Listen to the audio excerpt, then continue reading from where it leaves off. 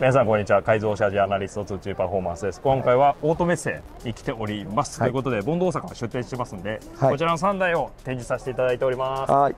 というわけで今回あの、担当者が全部岡君ということでボンド大阪の出店じゃなくてボンド岡の出店になってますけども この3台を岡君に詳しく紹介してもらいたいと思います、順番に行きましょうか。はい。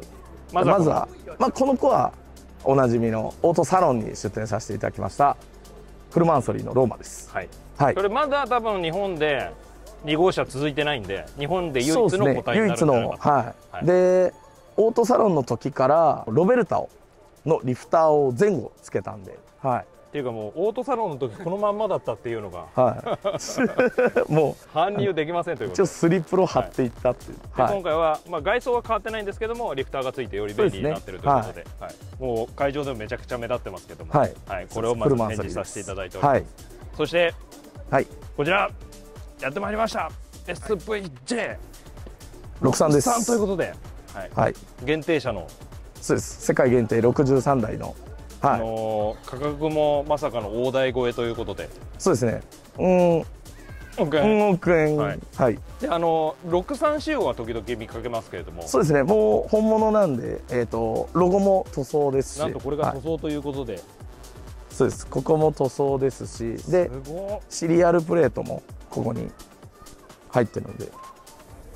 あそこが一番わかりやすい。63はいあとなんかカーボンパーツがマシマシになってたりとか。そうですね。屋根もこれもあのー全部カーボンで、はい、ね。エンジンフードもはい。全部カーボンなんで。そしてそんな貴重な車になんと足元を変えちゃうということで、はい。エール13これはい。まさかの AL13、はい。このシンプルな。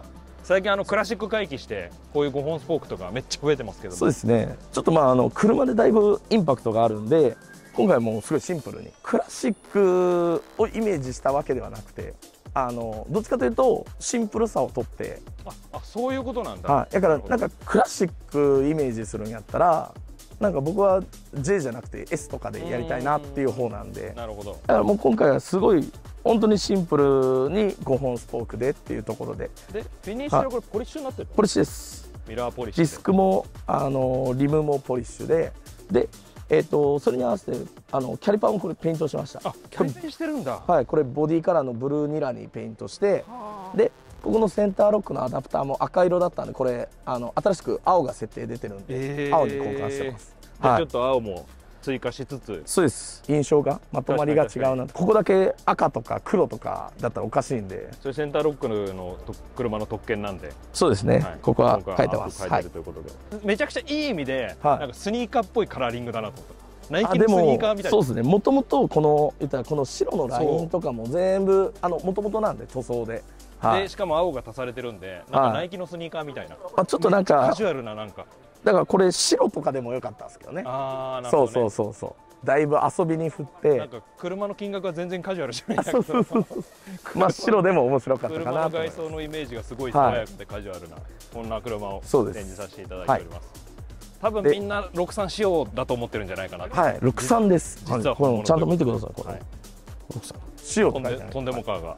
63です、ここですここです。要注目です。はい。こちらを展示させていただいていると、そしてこちらはい。えっ、やってまいりましたマクラーレン。765 LT スパイダはい。ーはい。で一応こちらの日本初上陸の。あれもしかして履いた車も1号車になるのかこれが。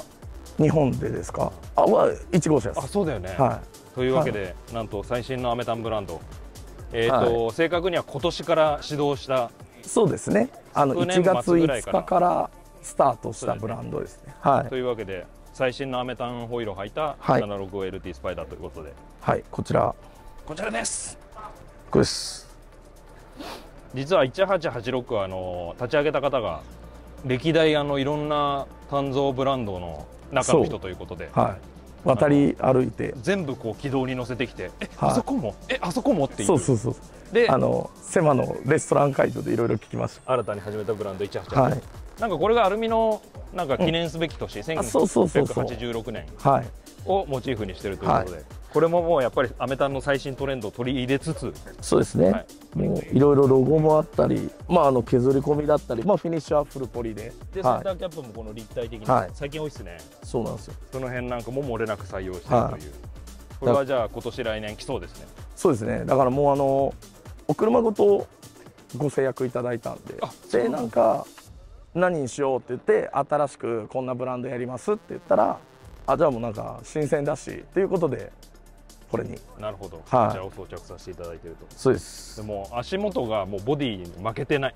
そうですね。ボディカラーがこれ東京シアンっていう色で一応マクラーレン東京でしか最初選べなかった色なんです。そうなんだ。でマクラーレン東京でこれを作ったら世界中からあの色にしたいっていうことであの MSO のあのオプションカラーになったってあいそうう色ですなんだ、はいじゃあもう日本発信のボディカラーにアメリカ最先端のホイールがはまって、はいそうです。1号車ということで、はい。もう非常に目立つ一台になっております。そうです。これオレンジ色のアクセントもいいね。そうですね。中もグラデーションで入って、はい。あのシートベルトもオレンジなんで。こんな車3台を展示させていただいております、なので今年はあのボンド大阪のテーマはエコなんで地球環境に優しく。全然全然。え全部青で。優しくないはい車が、イメージだけ、はい。まあまあイメージははい。というわけでこの辺が、はい。まあ車両販売もそのままカスタマイズさせていただいたはい。もう三台とも。車両もありますので、はい。ぜひぜひお気軽に。ぜひ。ボンド大阪にご相談ください。というわけで大阪オートメッセの様子をお届けいたしました、はい。ボンドチャンネルのチャンネル登録とあとインスタも最近やってますので登録の方よろしくお願いします。お願いします。最後までご視聴ありがとうございました。おはようございます